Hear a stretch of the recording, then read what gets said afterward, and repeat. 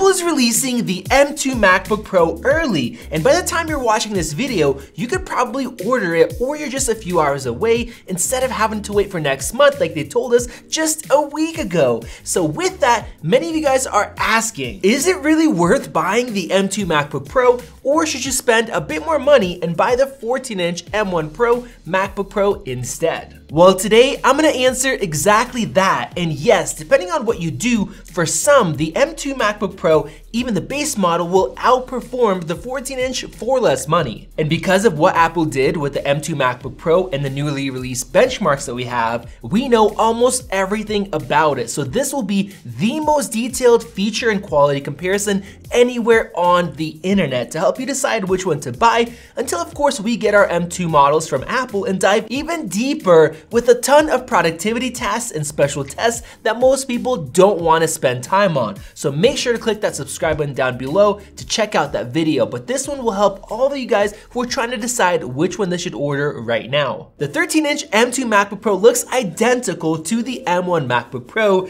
Heck, it's pretty much identical to the same one that came out in 2016. Apple decided to take the easy and more profitable route and keep everything the same other than a few software tricks and replacing the M1 chip with M2. And that not only frustrated many people, leading them to want to buy either the redesigned MacBook Air here or the 14-inch MacBook Pro, but that also gives me a bit of concern about how the small single fan will handle the now confirmed higher clock speeds and more graphics cores of the M2 chip. The 14-inch Pro has the new design that launched last fall with a boxier slate type look that replaced the previous high-end 13-inch. Now in some ways it actually looks older and way bigger, but the 14-inch is actually slightly thinner than the 13, it just doesn't look that way because of all the tapered sides but with that, it is also half a pound heavier. That boxy design allows not only for a larger internal battery, which we'll talk about real world battery life in just a bit, but also for a much better cooling system as well. The intake slots are much larger and on the back, almost the whole section below the hinge is for a hot air exhaust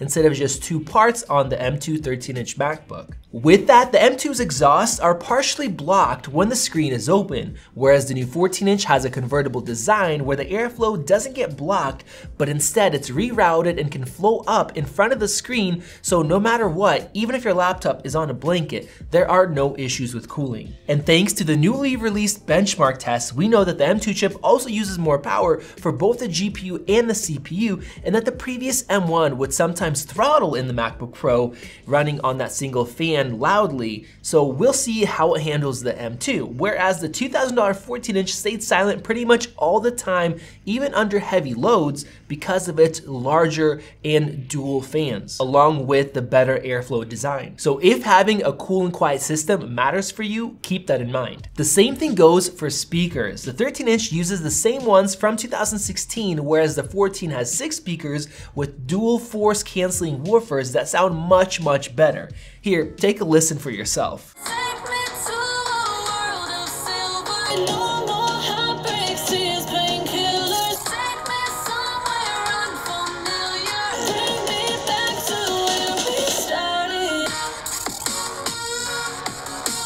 Thank you.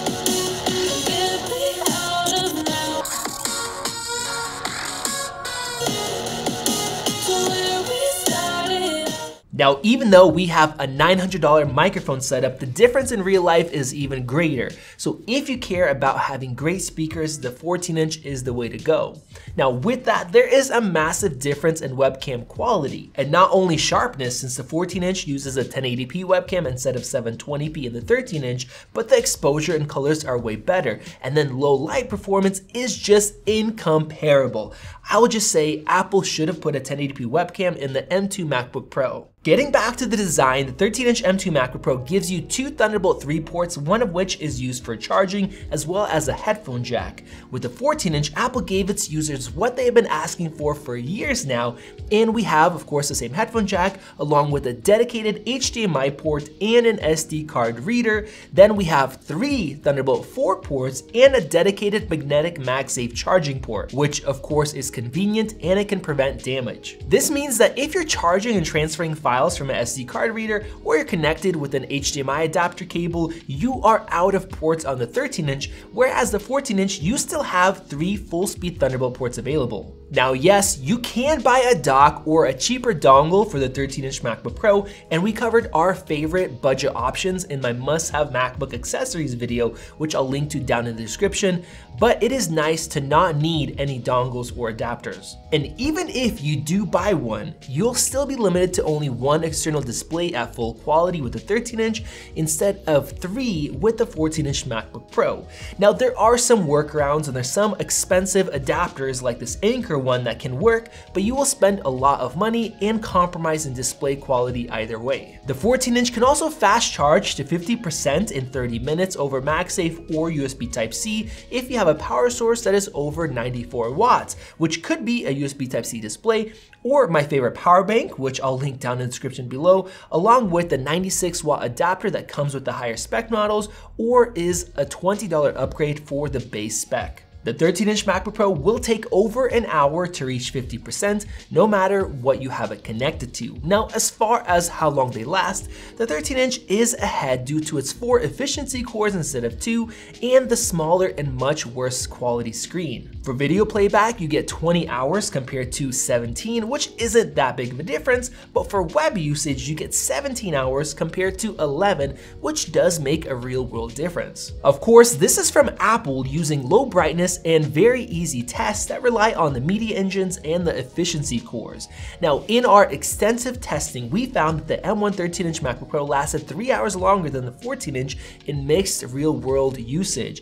And since the M2 uses about 10% more power for the CPU and 25% more power for the graphics, the real-world battery life will drop, but will still be about one to two hours ahead of the 14-inch. Now, another reason the 14-inch uses more power is that larger notch display with much slimmer bezels and with the much smoother 120Hz ProMotion instead of 60Hz. Now, not only does it support a billion colors compared to 16 million on the 13 inch Pro, it also uses mini LED technology that lets it reach an insane 1600 nits of peak brightness and a crazy high 1000 nit full screen sustained compared to 500 on the 13 inch Pro.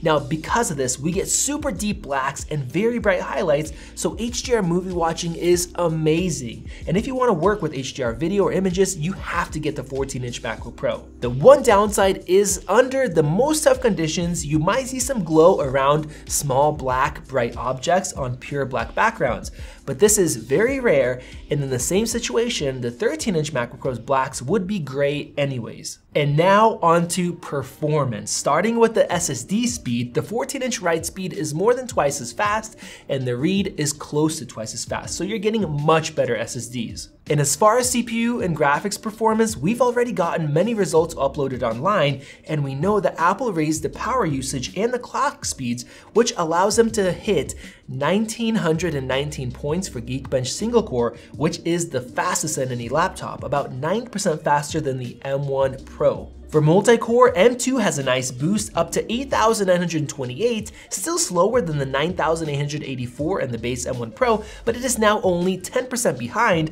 whereas the M1 Pro used to be 32% faster than M1. In terms of graphics, these two extra cores really help, and even though the 14-core M1 Pro is still more powerful than the 10-core M2, if we do the math, Apple is getting 2,983 points out of each core compared to 2,530 with the the M1 Pro, proving that Apple is pushing more wattage to each core, which once again has me wondering about heat and fan noise. Now, as far as the media engines, this is one area where the M2 is better. The M1 did not support ProRes hardware decoding and encoding, which only came with M1 Pro and above. But Apple surprisingly added that to the M2 chip, so a $1,300 MacBook Pro will edit ProRes better than most high-end Windows PCs. But with that, M2 has even faster H.264 and H.265 hardware, which now supports 8K, where M1 Pro does not meaning that 8K videos will export faster with the M2 as long as your graphics don't bottleneck you, and even if they do, the M2 might still be faster than the 14 core version of the M1 Pro. Doing the math, that means that the M2 can export 4K video at 120 frames per second now, whereas the M1 Pro and the 14 inch only does this at 90, just like the M1. Meaning for those of you guys that work with standard 4K video without a crazy amount of effects, which is most people on YouTube, the 13 inch M2 MacBook Pro will actually edit video faster if both have 16 gigs of RAM. Now, of course, if you spend even more money, you can upgrade the processors and the graphics in the 14 inch, but most people that are thinking of stretching their budget to buy a 14 inch instead of a 13 won't be just tacking on a ton of extra money on top of that. As far as photo editing, we don't know exactly how fast it will be, but based on our previous testing and how much faster the M2 is, as well as the higher memory speed and bandwidth, I would estimate it to be about two minutes or maybe slightly under that for our standard photo test. So close to the M1 Pro, but not beating it out if both machines have the same amount of RAM. Now, of course, the M2 allows you to get up to 24 gigs of RAM for $200 more than the 16 gigabyte option, whereas the 14 inch requires you to get 32 gigs for a $400 bump. But I think that if you're spending that much money on uh, for a 13 inch MacBook Pro to get you up to 24 gigs, it's not really worth it. You might as well go for the 14 inch. So overall, even if you upgrade the M2 and you get it close to the price of the 14 inch, the 14 inch is still faster in most ways. Now, if you're getting the base model M2 MacBook Pro, that's a $700 upgrade. Unless you know that you need something specifically from the 14 inch, I would not do it. But instead, I would take a look at the M2 MacBook Air that you can actually get for less money. I think that is also a better machine. And we actually have a detailed comparison against that as well, which you can check out right over there. Go ahead and click that circle above to subscribe to help us reach our goal of 1 million subscribers. We would greatly appreciate it. Thank you for watching this video. This has been Max, and I'll see you in the next one.